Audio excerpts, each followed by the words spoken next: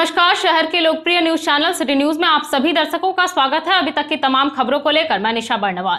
तो चलिए खबरों में आगे बढ़ते हैं और नज़र डालते हैं आज के हेडलाइंस पर। श्रद्धा भाव से की गई आदिदेव भगवान विश्वकर्मा की पूजा आराधना कोरोना की वजह से उत्साह रहा फीका। सामान्य ढंग से विभिन्न दुकानों, प्रतिष्ठानों और कल कारखानों में की गई पूजा अर्चना भक्ति भाव से भरा रहा माहौल। प्रधानमंत्री नरेंद्र मोदी के जन्म दिवस पर आयोजित हुए कई कार्यक्रम, भाजपा नेता संजीत सिंह ने किया रक्तदान तो मेयर सुनील पासवान ने बांटे फल। इधर अखिल भारतीय सर्व वैश्य महासभा ने केक काटकर किया इस दिवस को सेलिब्रेट। बनियाडी ओपन कास्ट के सुरक्षा गार्ड की हुई हत्या, मचा कोहराम, जाँच पड़ताल में जुटी पुलिस। और झरिया गादी में नदी में डूबने से एक तीन वर्षीय बच्चे की हुई मौत। शोक में डूबे परिजन सदर अस्पताल से बिना पोस्टमार्टम कराए बच्चे के शव को घर ले गए परिजन।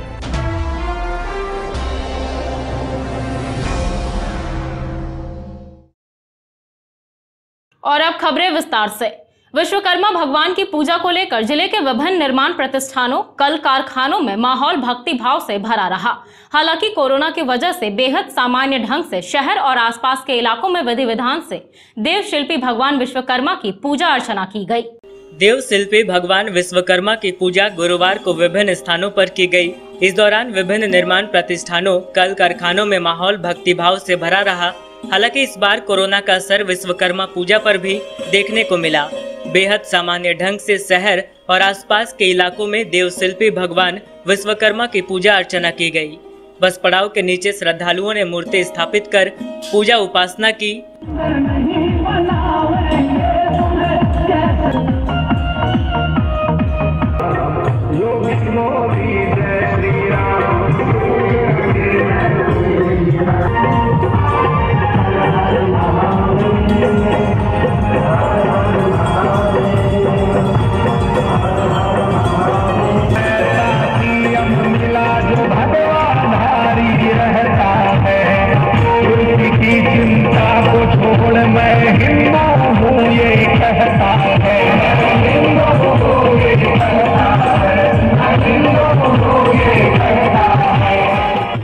इधर शहर के सरस्वती शिशु विद्या मंदिर में भी पूजा अर्चना की गई।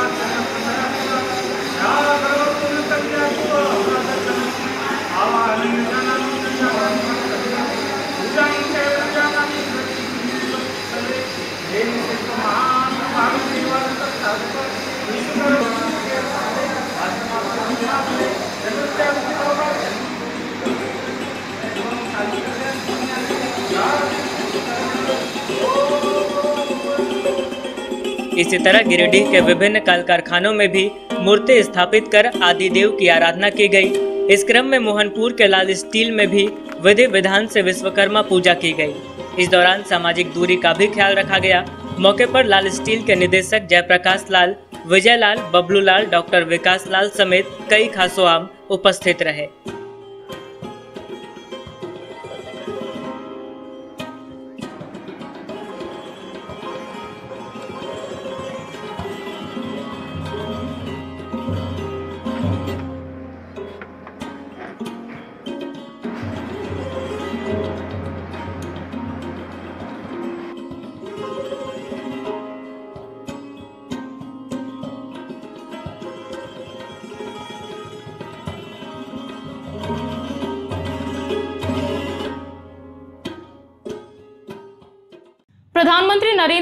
जन्मदिन को लेकर सेवा सप्ताह के तहत भाजपा नेता संजीत सिंह पप्पू ने गुरुवार को सदर अस्पताल के ब्लड बैंक में अपना रक्तदान किया।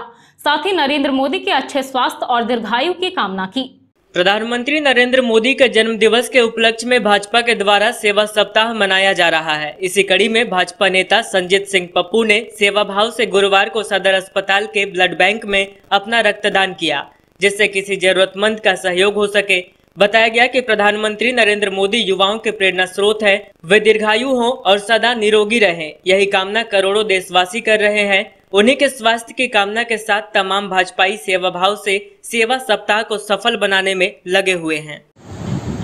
आज देश के यशस्वी प्रधानमंत्री, आधुनिक युग के शिल्पकार श्रीमान नरेंद्र मोदी जी का जन्म दिवस है और इसे हमारी पार्टी सेवा सप्ताह के रूप में मना रही है। मैं आज अपने प्रधानमंत्री के जन्मदिवस पर रक्तदान करके मैं किसी का सेवा करना का उद्देश्य है मेरा कि जिस ढंग, जो सेवा भाव लेके मोदी जी चले हैं, उससे हम सबको सीखना चाहिए। आज वो पूरा अपना समर्पण जो है देश के प्रति लगाए हुए हैं। तो हम जैसे कार्यकर्ता भी बहुत कुछ सीखते हुए उनसे, उसी सीख से प्रेरणा लेते हुए मैं अपना रक्तदान आज ब्लड बैंक में कर रहा हूँ, जिससे किसी मरीज़ का स्वास्थ्य में सुविधा पहुँचेगा। इसी निमित्त आज मैं कर रहा हूँ। मेरी पार्टी पूरे चौदह तारीख से ही सेवा सप्ताह चला रही है। गरीबों के बीच फल वितरण करना, यंत्र वितरण करना, चश्मा वितरण करना, किसानों को उसी निमित्त आज मैं अपना रक्तदान कर रहा हूँ मैं कामना करता हूँ देश के प्रधानमंत्री स्वस्थ हो, दीर्घायु हो और ये देश उनके नेतृत्व में और सबल और सुदृढ़ होगा, जिससे देश का मस्तक और भी ऊँचा होगा जब तक देश के प्रधानमंत्री नरेंद्र भाई मोदी रहेंगे प्रधानमंत्री नरेंद्र मोदी के सत्तरवें जन्म दिवस के उपलक्ष्य में सेवा सप्ताह के तहत नगर निगम के महापौर सह भाजपा नेता सुनील पासवान ने क्षेत्र के कई इलाकों में जरूरतमंदों के बीच फलों का वितरण किया। और उनकी लंबी उम्र की कामना की। इस दौरान कई भाजपाई मौजूद थे। नगर निगम के महापौर सह भाजपा नेता सुनील पासवान ने गुरुवार को निगम क्षेत्र के पांडेडीह सिरसिया, सीतलपुर आदि स्थानों पर जरूरतमंदों के बीच फलों का वितरण किया। यह कार्यक्रम प्रधानमंत्री नरेंद्र मोदी के सत्तरवें दिवस के उपलक्ष्य में किया गया। मौके पर छोटे पासवान उमेश कुमार, संजय हजाम तथा अन्य ग्रामीण मौजूद रहे। बताया गया कि देश के प्रधानमंत्री पूरे देशवासियों के आदर्श हैं। उनके दीर्घायु की कामना के लिए यह सेवा कार्यक्रम किया जा रहा है। जिंदाबाद। जिंदाबाद। जिंदाबाद। जिंदाबाद।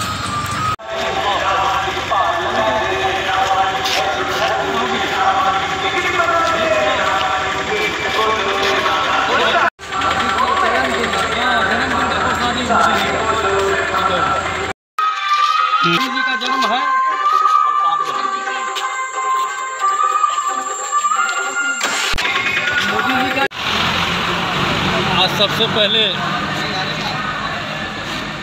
इस जगत के शिल्पी का बाबा विश्वकर्मा की पूजा की। अब सब, सभी तमाम गिरिडीह वासियों के साथ हम संपूर्ण झारखंड वासियों और देशवासियों को अपनी ओर से बधाई और शुभकामनाएँ देते हैं। साथ ही साथ भारतीय जनता पार्टी परिवार के लिए और इस देश के लिए सबसे बड़ी खुशी की बात आज हमारे इस देश के यशस्वी प्रधानमंत्री परम आदरणीय नरेंद्र भाई मोदी जी का सत्तरवां जन्म दिवस है। उस जन्म दिवस के शुभ अवसर पर हम लोगों ने प्रसाद के रूप में सत्तर घरों में जा कर के और सभी को फल वितरण करने का काम किया है। और वैसे में हम अपनी ओर से, हम इस देश के यशस्वी प्रधानमंत्री को और गिरिडीह की जनता की ओर से हम बधाई देते हैं, शुभकामनाएँ देते हैं और मंगल कामना करते हैं कि उनकी दीर्घायु हों, स्वस्थ रहें और इसी तरह देश की सेवा निरंतर करते रहें। धन्यवाद। अखिल भारतीय वैश्य एकता महासभा की ओर से प्रधानमंत्री नरेंद्र मोदी का जन्म दिवस हर्षोल्लास के साथ मनाया गया। प्रधानमंत्री मोदी के जन्म दिवस को लेकर अंबेडकर चौक में एक कार्यक्रम आयोजित कर महासभा की महिलाओं ने केक काटा और लोगों के बीच फलों और मिठाइयों का वितरण किया। अखिल भारतीय सर्व वैश्य एकता महासभा की ओर से देश के प्रधानमंत्री नरेंद्र मोदी का जन्मदिन हर्षोल्लास के साथ मनाया गया। इसको लेकर अंबेडकर चौक में महासभा के झारखंड महिला प्रकोष्ठ के प्रदेश अध्यक्ष रागिनी लहेरी साहा और गिरिडीह जिलाध्यक्ष रेणु सेठ के नेतृत्व में एक कार्यक्रम किया गया।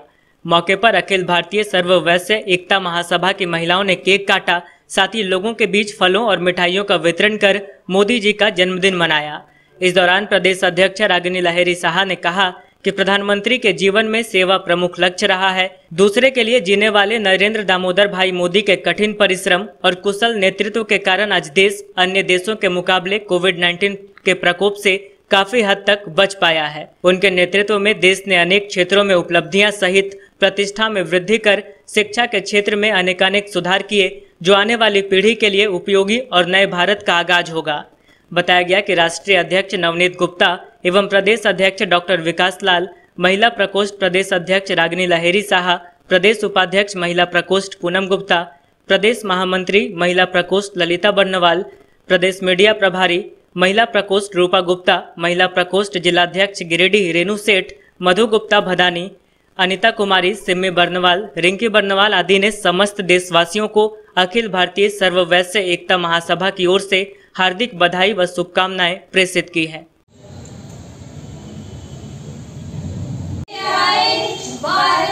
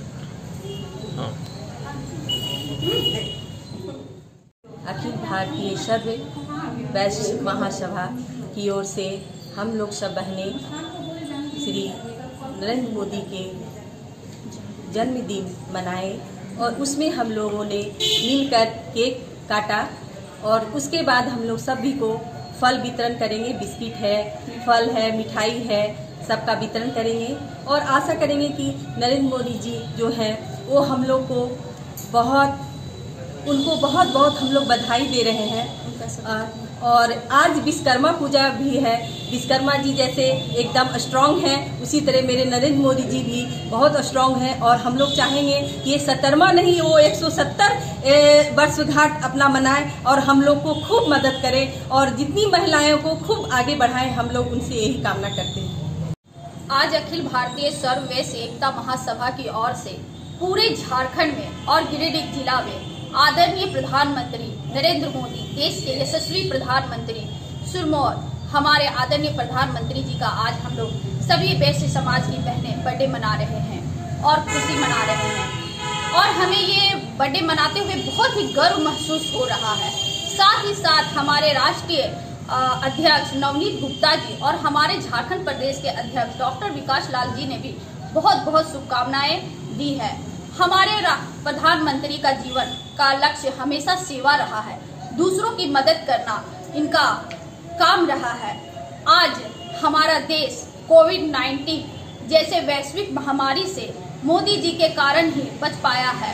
धारा 370 हो या मुस्लिम महिलाओं को तीन तलाक से आज़ादी हो या राम मंदिर का निर्माण हो या फिर गद्दार चीन को मुंहतोड़ जवाब देना हो, ये सभी हमारे मोदी जी कुशल कार्य से कर रहे हैं और आगे भी करेंगे। जैसा कि आज सृष्टि के शिल्पकार भगवान विश्वकर्मा जी का जन्मदिन है और उसी के साथ हमारे देश के शिल्पकार नरेंद्र मोदी जी का भी जन्मदिन है। झरिया गादी स्थित उसरी नदी में नहाने के क्रम में डूबने से असलम अंसारी के तीन वर्षीय पुत्र मोहसिन अंसारी की मौत हो गई।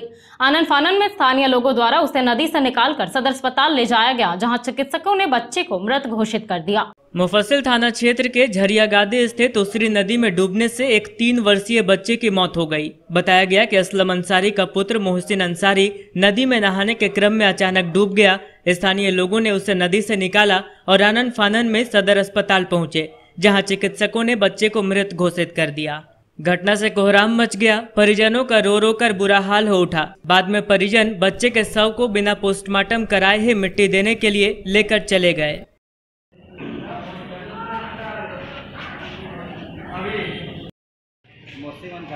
क्या हुआ था? कब हुआ ये?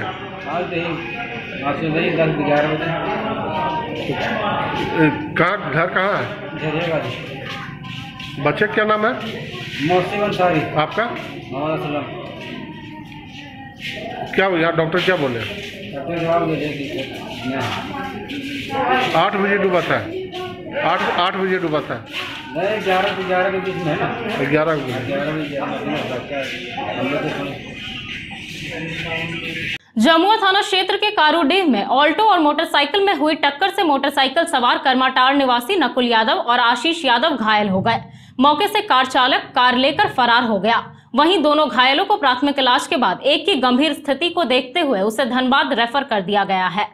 जमुआ थाना क्षेत्र के कारूडीह में ऑल्टो और मोटरसाइकिल में टक्कर हो गई, जिसमें मोटरसाइकिल सवार नकुल यादव व आशीष यादव घायल हो गए।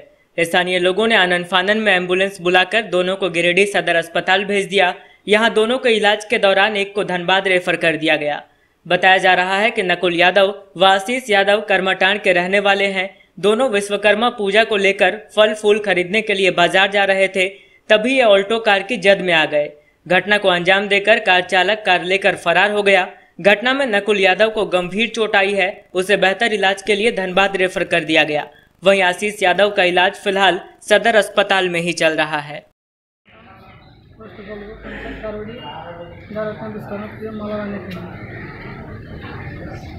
कहाँ पे एक्सीडेंट हुआ?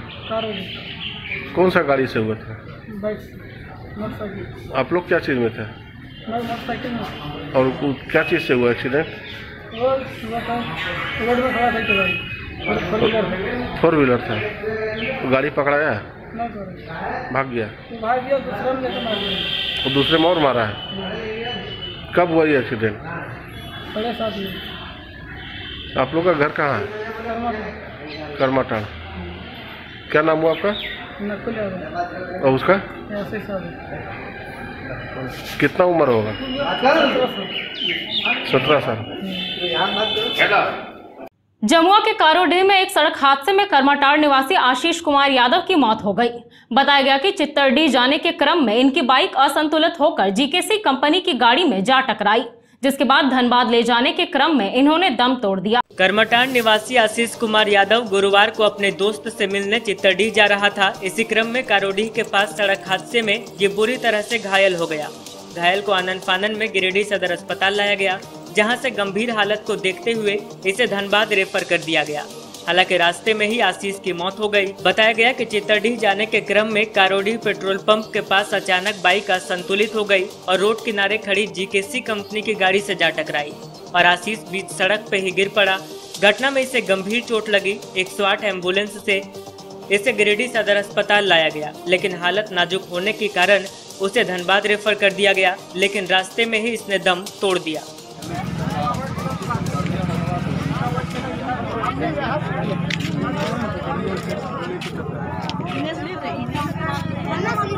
punya punya punya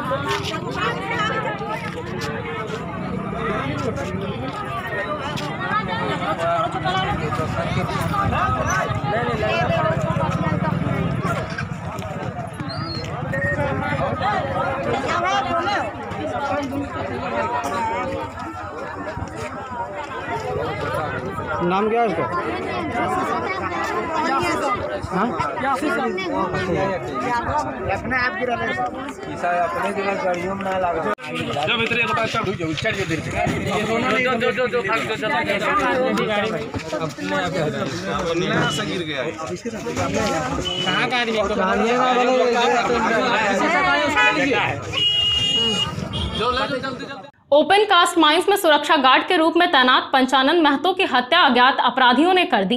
घटना के बाद मृतक के शव का पोस्टमार्टम गिरिडीह सदर अस्पताल में कराया गया। इस मामले में फ़िलहाल पुलिस ने संदेह के आधार पर एक व्यक्ति को गिरफ़्तार किया है और आगे की पड़ताल कर रही है। बनियाडीह में हुए सुरक्षा गार्ड की हत्या मामले में गुरुवार को एक की गिरफ्तारी हुई है। घटना को लेकर सदर अस्पताल में भारी भीड़ रही। इस दौरान मृतक पंचानंद महतो के शव को बनियाडीह भी ले जाया गया। बताया गया कि पचम्बा के मगही टोला के रहने वाले पंचानंद महतो बनियाडी ओपन कास्ट में सुरक्षा कर्मी के रूप में तैनात थे। बुधवार की रात अचेत अवस्था में कुछ लोग उन्हें उनके घर के बाहर छोड़कर फरार हो गए थे। बाद में उनके परिजनों ने उन्हें सदर अस्पताल लाया, जहाँ चिकित्सकों ने उन्हें मृत घोषित कर दिया। घटना के बाद सुबह तक कोहराम मचा रहा। पुलिस भी जाँच पड़ताल करती रही। घटना से परिजनों में भारी आक्रोश देखने को मिला। फ़िलहाल संदेह के आधार पर एक की गिरफ्तारी हुई है। वहीं पुलिस पूरे मामले की जाँच पड़ताल कर रही है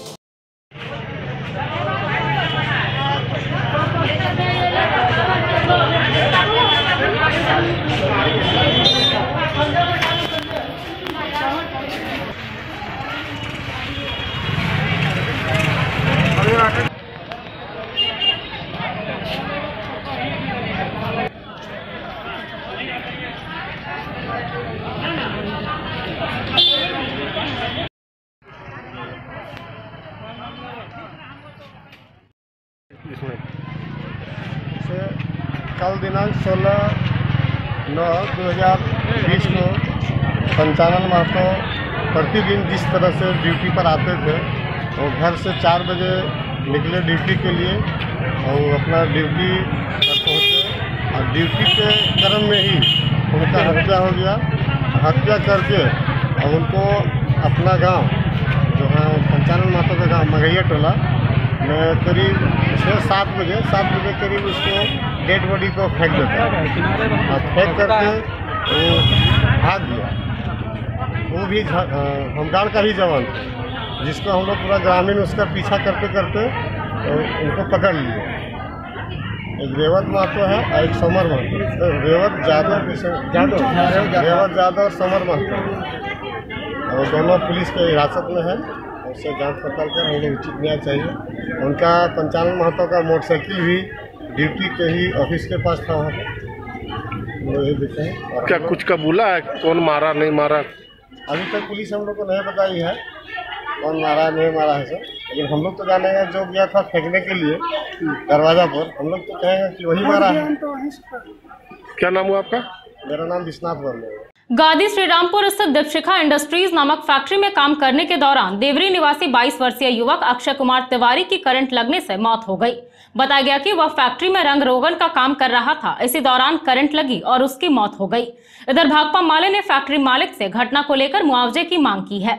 मुफसिल थाना क्षेत्र के गादी श्रीरामपुर में संचालित दीपशिखा इंडस्ट्रीज़ नामक फैक्ट्री में करंट लगने से एक कामगार की मौत हो गई। मृतक का नाम अक्षय कुमार तिवारी है, जो देवरी थाना क्षेत्र का रहने वाला था और इस फैक्ट्री में रंग रोगन का काम कर रहा था। बताया गया कि काम के दौरान ही करंट लगने से इसके मौके पर ही मौत हो गई। मृतक की उम्र महज 22 साल है। घर में तीन भाइयों में ये सबसे छोटा भाई था। घटना की सूचना देकर फैक्ट्री मालिक सचिन गुप्ता से मुआवजे की बात की गई। वहीं मुफस्सिल पुलिस भी मामले की जाँच पड़ताल कर रही है। घटना से परिवार शोकाकुल है। परिजनों का रो रो कर बुरा हाल हो उठा है। गुरुवार की सुबह पुलिस ने सदर अस्पताल पहुंचकर पंचनामा दर्ज किया और शव का पोस्टमार्टम कराकर उसे परिजनों के सुपुर्द कर दिया। घटना को लेकर भाकपा माले के लोगों ने मुआवजे की पहल की। परंपरा का देख रहे हैं हम शुरुआत कि लाश रखा हुआ है सदर हॉस्पिटल में और फैक्ट्री वाले जो है वो झंडा मैदान रात को आते हैं नौ बजे और जिनके साथ हादसा हुआ वो भी झंडा मैदान में आते हैं। ठीक है, कहीं भी वार्ता होनी चाहिए, लेकिन अभी लाश के पास होनी चाहिए। और नियम है, बिना नियम का हम लोग कोई भी बात नहीं करते हैं। सरकार का नियम है कि एज के अनुसार सबका बना हुआ है कि उसका कितना सैलरी था, उसका 50 परसेंट के हिसाब से एज को गुना कर दिया जाता है। तो हम लोग के पास चार्ट रहता है। उस चार्ट से अगर एक रुपया भी कम दिया जाता है तो कितना भी सेटिंग हो जाए आपस में उस पर फिर से एक सवाल कर देंगे और फैक्ट्री मालिक को बोलेंगे कि 9 बजे रात को 10 बजे रात को झंडा मैदान में बात क्यों कर रहे हैं? क्या कारण है? इतना ज़्यादा चिंतित क्यों है? जब वो काम कर रहा था तो आप चिंतित नहीं थे। इसलिए ये लोग जो बात कर रहे हैं उस वार्ता में हम शामिल नहीं होंगे, क्योंकि ये परंपरा के खिलाफ है कि आप लाश रखा हुआ है सदर हॉस्पिटल में और आप बात कर रहे हैं झंडा मैदान में 10 बजे रात को। और ऊपर से सादा कागज़ ये बनेगा तो मंगना, ये चूँकि घर का आपका मामला है, हम उस साथ दे रहे हैं आपका, लेकिन अगर कम देता है और उस पर आप साइन करते हैं तो फिर उल्टा हम लोग उस पर असर कर देंगे, उस पर हम लोग ज़ोर शोर से लग जाएँगे। हम लोग चाहते हैं कि वो तो चला गया, जिनको जाना था वो चला गया, लेकिन मुआवजा में उनको एक रुपया कम नहीं होना चाहिए, जो सरकारी रेट है। और वही हम लोग डिमांड करते हैं और अभी हम लोग किसी को आठ लाख, किसी को चौदह लाख भी दिलवाए हैं। तो हड़बड़ाना नहीं है। गलती से साइन नहीं कर देना, ढाई लाख चाहिए, कहीं तीन लाख चाहिए, रोने फैक्ट्री वाला मालिक रोता है। रोना नहीं चाहिए। देखिए जाके दूसरे जगह पे नियम और कानून बना, उस आधार पे होता है। गिरिडीह में ऐसा कानून नहीं है। गिरिडीह में गाजर मूली की तरफ़ मरिए और उसके बाद सब शांत रहते हैं। बेंगाबाद थाना क्षेत्र के खुट्टा बाँध टोला में सड़क हादसे में कुर्बान अंसारी नामक व्यक्ति की मौत हो गई। बताया गया कि वे सड़क किनारे से सब्ज़ी खरीद रहे थे। इसी दौरान यह हादसा हुआ। वहीं पुलिस ने मोटरसाइकिल चालक को अपने कब्जे में ले लिया है और शव को पोस्टमार्टम के लिए गिरिडीह सदर अस्पताल भेज दिया। बेंगाबाद थाना क्षेत्र के खोटा बाँध टोला में सड़क हादसे में एक व्यक्ति की मौत हो गई। घटना के बाद शव को पोस्टमार्टम के लिए सदर अस्पताल लाया गया। बताया गया कि खोटा बाँध टोला के रहने वाले कुर्बान अंसारी सड़क के किनारे लगे सब्ज़ी की दुकान से सब्ज़ी खरीद रहे थे। इसी दौरान विपरीत दिशा से आई मोटरसाइकिल ने इन्हें अपनी चपेट में ले लिया। इस क्रम में मोटरसाइकिल चालक खुद भी गिर पड़ा। घटना में मौके पर ही कुर्बान अंसारी की मौत हो गई। घटना की सूचना पर पुलिस मौके पर पहुँची और मोटरसाइकिल चालक को हिरासत में लेकर शव को पोस्टमार्टम के लिए गिरिडीह सदर अस्पताल भेज दिया। उनका नाम कुर्बान अंसारी। कहाँ रहते थे? क्या हुआ था? उसका कल एक बाइक वाला मार दिया रोड किनारे। कब? वही कल चार चार बजे शाम को। ये क्या चीज़ से थे ये? ये सब्ज़ी लेने के लिए रुके हुए थे पहले वो चलते हैं हमेशा। सब्ज़ी लेने के लिए रुका था सब्ज़ी ले रहा था रोड किनारे तो वही एगो बाइक मतलब फुल स्पीड में आके उसको मार दिया। कहाँ पे हुआ ये? ये बघरा पेट्रोल पंप है ना थोड़ा सा उसके बगल में। क्या नाम हुआ आपका? हमारा मोहम्मद रियाज अंसारी तो क्या वो गाड़ी वाला पकड़ाया हाँ? गाड़ी वाला पकड़ा गया पुलिस ले गया है आप लोग थाना में आवेदन दिए? हाँ आवेदन दिए हैं। मीडिया को जानकारी देते हुए राष्ट्रीय मजदूर कांग्रेस के प्रदेश संयुक्त महासचिव अशोक कुमार सिंह ने बताया कि राज्य में हो रहे भूमि विवाद पर इन्होंने अपना संक्षिप्त सुझाव मुख्यमंत्री को दिया है। कहा कि भू माफियाओं द्वारा सरकारी ज़मीन जंगल पहाड़ और धार्मिक स्थलों की ज़मीन कब्जा की जा रही है। जिसे लेकर यह मुख्यमंत्री से मिलकर भी अपनी बातों को रखेंगे। राष्ट्रीय मजदूर कांग्रेस के प्रदेश संयुक्त महासचिव अशोक कुमार सिंह ने राज्य के मुख्यमंत्री को राज्य में हो रहे भूमि विवाद पर अपना संक्षिप्त सुझाव दिया है। इस आशय का एक लिखित आवेदन इन्होंने मुख्यमंत्री को प्रेषित भी किया है। इस बात की जानकारी गुरुवार को इनके द्वारा मीडिया को दी गई। बताया गया कि फ़िलहाल झारखंड में ज़मीन संबंधित मामले पर भ्रष्टाचार चरम सीमा पर है। भूमाफियाओं के द्वारा सरकारी ज़मीन, जंगल पहाड़ और धार्मिक स्थलों पर ज़मीन पर कब्जा किया जा रहा है। लेकिन कानून के लचीलेपन की वजह से मामला सुलझ नहीं पा रहा और इससे रसूखदार लोग लाभान्वित हो रहे हैं। वहीं आम लोगों को परेशानी झेलनी पड़ रही है। इन्होंने कहा कि ये मुख्यमंत्री से मिलकर भी अपनी बातों को रखेंगे। आज मैंने एक पत्र लिखकर वर्तमान में जो भूमि एक संबंधी विवाद चल रहा था, उस पर मुख्यमंत्री को कुछ सुझाव दिया है। हमने साफ़ शब्दों में कहा है कि दो तरह की बीमारी इस राज्य के अंदर ज़मीन का है।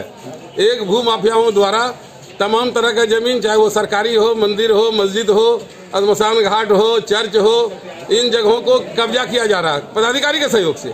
उसके बारे में सुझाव दिया है, दूसरा सुझाव दिया है कि भ्रष्टाचार चरम सीमा पर है। कैसे भ्रष्टाचार चरम सीमा पर है? अभी आपने गैरमजरुआ ज़मीन पर रजिस्ट्री रोक लगा दिया, बहुत अच्छा काम किया। अब दूसरी ओर जो रहती ज़मीन है, उसका रजिस्ट्री होगा, तब तक नहीं होगा जब तक कि एलपीसी अंचल अधिकारी से प्राप्त नहीं करेंगे। एलपीसी प्राप्त करने के लिए उस रैयत को कितना घूस देना पड़ता है, सब विदित है। कि जब तक 2000 डिसमिल नहीं मिलेगा, पाँच हज़ार रुपया डिसमिल ज़मीन के आधार पर है, नहीं मिलेगा, वो एलपीसी नहीं देंगे। एलपीसी देने के बाद रजिस्ट्रार के यहाँ रजिस्ट्री कर कराने के लिए वो जाता है, वहाँ भी फिक्स है कि दो हज़ार रुपया डिसमिल रजिस्ट्रार को अलग से देना होगा। फिर जब रजिस्ट्री हो गया, फिर वही ज़मीन जिसका एलपीसी उन्होंने ही दिया, उसी ज़मीन पर जब मोटेशन कराने के लिए जाएगा, फिर वहाँ कहेगा, दो हज़ार रुपया डिसमिल दीजिए, पाँच हज़ार रुपया डिसमिल दीजिए। इस तरह से रेतों को काफ़ी परेशानी का सामना करना पड़ा। हमने कहा आप इस ऑनलाइन के जमाने में चार तरह का कंप्यूटर आप तय कीजिए। एक रजिस्ट्रार के यहाँ लगाइए, एक सीओ के यहाँ लगाइए, एक एसी के यहाँ लगाइए, एक राजस्व सचिव के यहाँ लगाइए। जो ही एलपीसी सीओ देते हैं, चारों तरफ़ कंप्यूटर में लिंक हो गया। कोई प्रमाण पत्र अलग से लेने देने की ज़रूरत नहीं। वह एलपीसी के बाद जब रजिस्ट्री होता है जो ही सीओ के यहाँ चला गया कि अमुक आदमी का ज़मीन, अमुक आदमी ने खरीद लिया। सीओ साहब एक सप्ताह के अंदर उसका मोटेशन करके निरीक्षक के माध्यम से रसीद उस रैयत के घर पर भिजवा दीजिए और माल अपना प्राप्त कर लीजिए। क्यों जाएगा वो रैयत मोटेशन के लिए, आपके ऑनलाइन दरखास्त देकर के रोज दौड़ने के लिए? जहाँ तक सरकारी ज़मीन का है, उसके बारे में हमने कहा है कि आप अंचल स्तर पर चिन्हित कीजिए। जो नगर के अंदर ज़मीन है सरकारी वो निकाय के पदाधिकारी को आप जिम्मेवारी दीजिए, चिन्हित करके कि ये इतना ज़मीन आपके जिम्मा हमने दिया, इसकी सुरक्षा आपको करना है। जो अंचल के अंदर है, ग्रामीण क्षेत्र में है, वो अंचल अधिकारी को चिन्हित करके दीजिए, उसका सूची बनाइए कि इसकी जिम्मेवारी आपकी है, इसको सुरक्षित रखना है। जो ही पदाधिकारी ट्रांसफ़र हो जाता है, एक सीओ जा रहे हैं, वो सूची दूसरे सीओ को देंगे और भौतिक सत्यापन कर लेंगे कि जितना ज़मीन हमने चिन्हित करके दिया है, इसमें आप देख लीजिए, एक भी ज़मीन कहीं गड़बड़ हुआ है क्या? और जब वो लेंगे, इस तरह से अगर समूचे राज्य में हमारे पदाधिकारी उपायुक्त के माध्यम से सूची जिला का राज्य में संकलित हो जाएगा। एक ज़िले में कितने एकड़ ज़मीन सरकारी है, चर्च का है, मंदिर का है, मस्जिद का है, आम है, खास है। और ऑनलाइन के जमाने में जितना गड़बड़ी किया गया है, इसकी जितनी भर्तना की जाए वो कम होगा। जिसका एकड़ में था, उसको डिसमिल में कर दिया गया है। जिसका डिसमिल में था, उसको शून्य लिख दिया गया है। जो आम, खास ज़मीन था, उसको आम कर दिया है। जो आम था, उसको खास कर दिया है। नाम में भी अशुद्धि कर दिया है। तो हमने कहा है एक पासबुक की व्यवस्था होनी चाहिए कि जितना ज़मीन गरीब के पास है, एक पासबुक दे दीजिए। अगर मेरे पास दस डिसमिल है, हम दो डिसमिल बेचते हैं तो आठ डिसमिल मेरे पासबुक में बचेगा। अगर बीस डिसमिल है तो अठारह डिसमिल हमारे पासबुक में बचेगा। इस प्रकार से हर महीने मॉनिटरिंग की जिम्मेवारी जिला के अंदर अपर समर्था को दी जाए कि कितने सूची में ये लोकहित का ज़मीन है, एक एक भी गड़बड़ नहीं हुआ क्या? और कितने का मोटेशन हुआ? कितने का रजिस्ट्री हुआ, कितने का एलपीसी हुआ यह चारों इंटरनेट के माध्यम से सरकार के पास चिन्हित होगा। कहीं न कोई भूमाफिया कब्जा करेगा, न किसी रैयत को गड़बड़ी है। इसी बिंदु पर हमने आज सुझाव मुख्यमंत्री को भेजा है। तो चलते चलते एक बार फिर नज़र डालते हैं आज के हेडलाइंस पर। श्रद्धा भाव से की गई आदिदेव भगवान विश्वकर्मा की पूजा आराधना कोरोना की वजह से उत्साह रहा फीका। सामान्य ढंग से विभिन्न दुकानों, प्रतिष्ठानों और कल कारखानों में की गई पूजा अर्चना भक्ति भाव से भरा रहा माहौल। प्रधानमंत्री नरेंद्र मोदी के जन्म दिवस पर आयोजित हुए कई कार्यक्रम। भाजपा नेता संजीत सिंह ने किया रक्तदान तो मेयर सुनील पासवान ने बांटे फल। इधर अखिल भारतीय सर्व वैश्य महासभा ने केक काटकर किया इस दिवस को सेलिब्रेट। बनियाडी ओपन कास्ट के सुरक्षा गार्ड की हुई हत्या, मचा कोहराम, जाँच पड़ताल में जुटे पुलिस। और झरिया गादी में नदी में डूबने से एक तीन वर्षीय बच्चे की हुई मौत। शोक में डूबे परिजन सदर अस्पताल से बिना पोस्टमार्टम कराए बच्चे के शव को घर ले गए परिजन।